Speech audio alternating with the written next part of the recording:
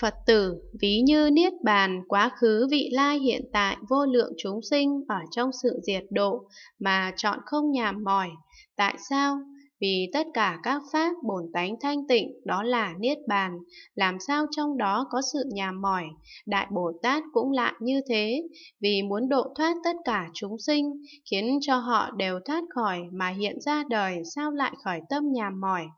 Phật tử như Tát Bà Nhạ hay khiến tất cả Bồ Tát quá khứ vị la hiện tại đã sinh, sẽ sinh, đang sinh vào nhà chư Phật cho đến khiến cho thành tựu vô thượng Bồ Đề chọn không nhảm mỏi.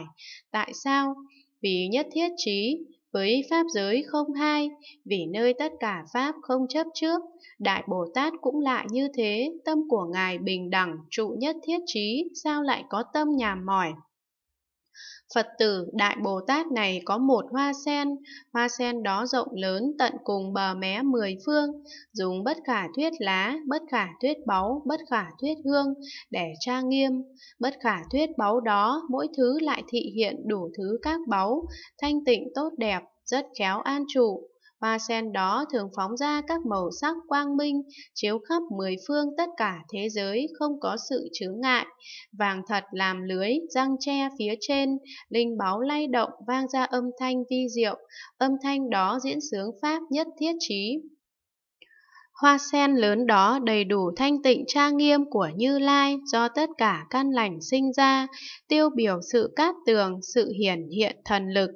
có 10.000 A Tăng kỳ công đức thanh tịnh, chỗ thành tựu diệu đạo của Bồ Tát, chỗ chảy ra tâm nhất thiết trí, hình bóng mười phương chư Phật hiển hiện ra trong đó, thế gian chiêm ngưỡng giống như tháp của Phật, chúng sinh thấy được thảy đều lễ kính, từ chỗ thấu rõ chánh pháp viễn sinh ra, tất cả thế gian không thể ví dụ được, Đại Bồ Tát ngồi kiết già trên hoa sen đó, thân Ngài không lớn, nhỏ, rất tương xứng với hoa sen, được thần lực của tất cả chư Phật gia bị khiến cho mỗi lỗ chân lông trên thân Bồ Tát đều phóng ra quang minh, nhiều như số hạt bụi trăm ngàn ức na do tha bất khả thuyết cõi Phật. Mỗi quang minh đều hiện ra ma ni báu nhiều như số hạt bụi trăm ngàn ức na do tha bất khả thuyết cõi Phật. Các mani báu đó đều gọi là phổ quang minh minh tạng, đủ thứ sắc tướng dùng để trang nghiêm, thành tựu vô lượng công đức, các báu và hoa dùng làm lưới la, răng tre phía trên,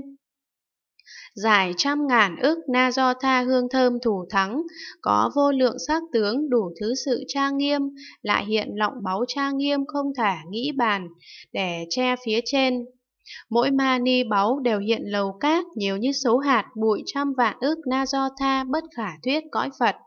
Mỗi lầu cát lại hiện ra tòa sư tử liên hoa tạng nhiều như số hạt, bụi trăm vạn ước na do tha bất khả thuyết cõi Phật.